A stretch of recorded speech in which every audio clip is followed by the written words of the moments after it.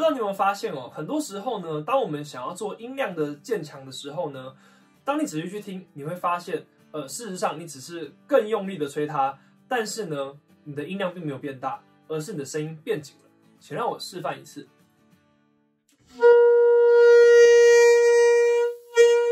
发现问题了吗？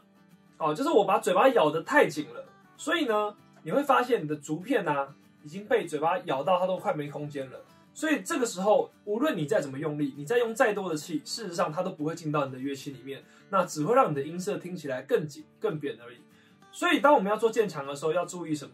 你要注意的是，你必须把力量放在你的肚子，哦，去把你的气推出来。同时呢，你的下嘴唇不能往上咬。那这个时候，你的嘴角哦要去固定它，让气不要从两边喷出去。